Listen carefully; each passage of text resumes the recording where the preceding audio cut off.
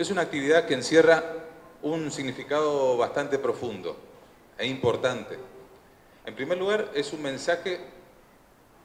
muy fuerte para el cuidado del medio ambiente y el cuidado de la biodiversidad. Y esto es importante decirlo porque estamos en un momento, en una etapa, si se quiere, desde lo institucional, que está vinculado también a una época electoral o preelectoral. Y no obstante ello, el cuidado de la naturaleza, el cuidado del medio ambiente y la biodiversidad continúa figurando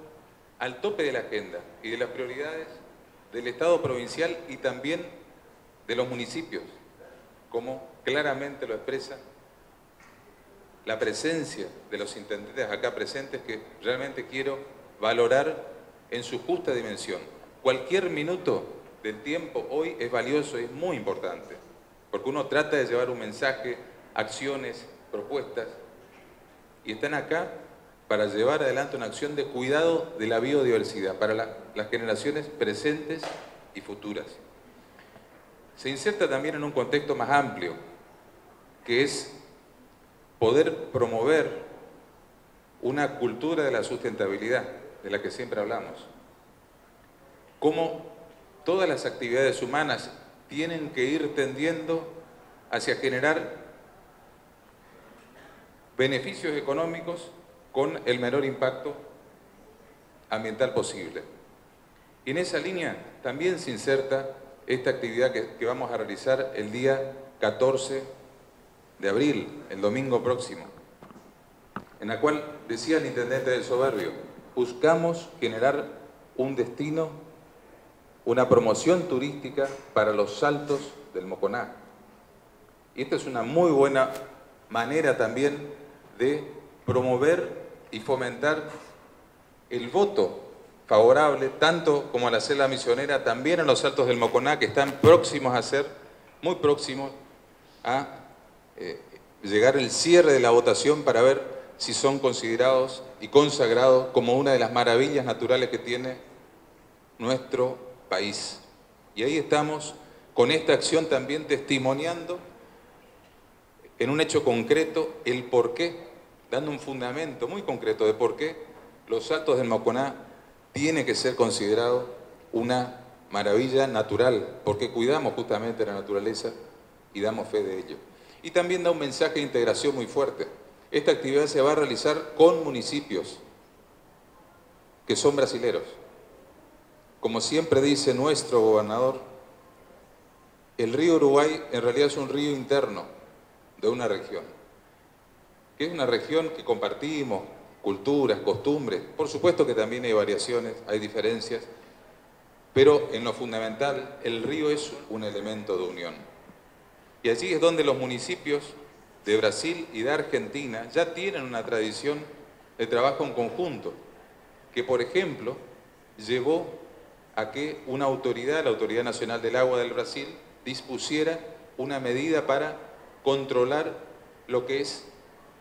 el caudal que emite una represa que está aguas arriba del río Uruguay, la represa Foz de Chapecó, para permitir una mejor y mayor visibilidad de los altos. Y lo consiguieron con ese trabajo mancomunado con ese trabajo conjunto. Y van a estar presentes también los intendentes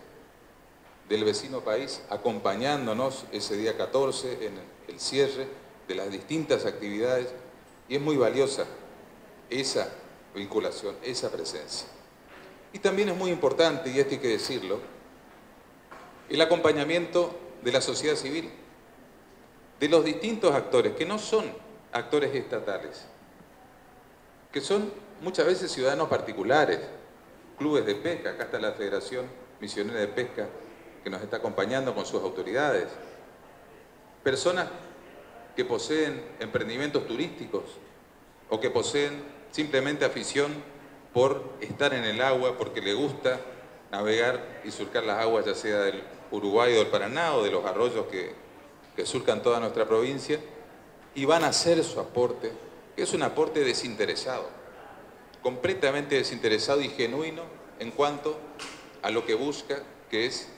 limpiar y retirar residuos del río Uruguay, residuos todos que van y terminan después en los océanos, provocando los daños que frecuentemente solemos ver en lo que es la fauna íctica. Entonces, todas esas dimensiones se articulan y se conjugan en esta actividad. Quiero agradecer nuevamente la manera en que los intendentes y sus equipos asumieron el compromiso de llevar adelante esta actividad que nosotros acompañamos. Nosotros somos simplemente interlocutores que procuramos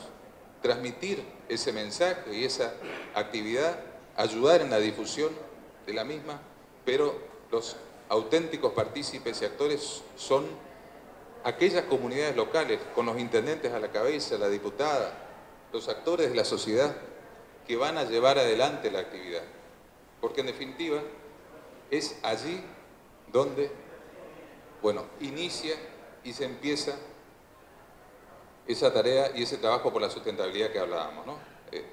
siempre hay que empezar por la casa de uno y ellos asumieron ese compromiso y lo van a hacer. Así que, invitar a todos los que se quieran sumar, los distintos eh, interesados, posteriormente vamos a dejar un número de teléfono para que se contacten. Les pido a los medios, si es posible, que puedan también difundir en, su espacio estos números de teléfono para poder de esa manera coordinar y articular la actividad y bueno, desearles, eh, desearnos a todos que, tengamos una, una, jornada muy productiva, provechosa ese día y bueno, que vengan más en el futuro por un río Uruguay bien sano, por una provincia sana y con también desarrollo sustentable para nosotros y para nuestros hijos.